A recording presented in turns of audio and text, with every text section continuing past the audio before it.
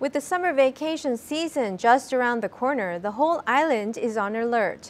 The Provincial Council has proposed that islanders be inoculated first to prevent Jeju from becoming a virus transmission hotspot during the summer vacation season. In accordance, Governor Won Hee-ryong has also sent in an official request to Seoul. Mike Laidman reports.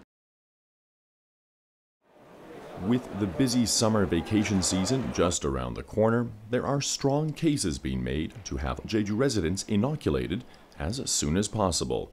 Arguing for vaccinations is the point that if the island obtains mass immunization, the uncontrolled spread of infection could be avoided among both islanders and tourists.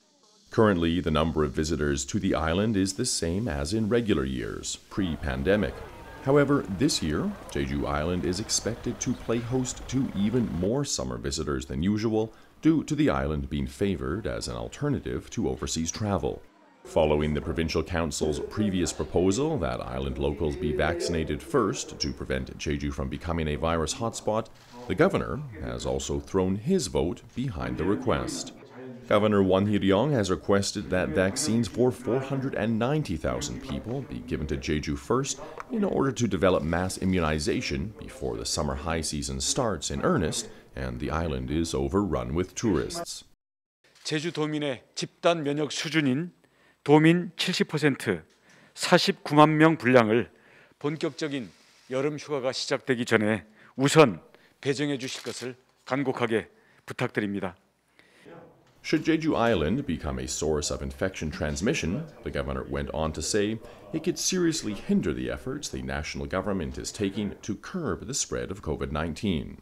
Meanwhile, the Ministry of Culture, Sports and Tourism is reportedly reviewing the idea of designating travel safe zones to help boost the stagnant tourism industry, lending weight to the island's request for early access to vaccines. In order to pass through the summer high season without issue, vaccinations for Jeju residents, as well as tight infection prevention control at beaches and tourist attractions, is needed.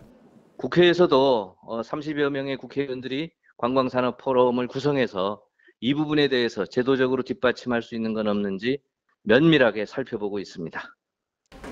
One of the presidential candidates in the ruling party, Kim Doo-kwan, also made a request that Jeju residents be vaccinated first to the presidential office, the Ministry of the Interior and Safety, and the Ministry of Health and Welfare.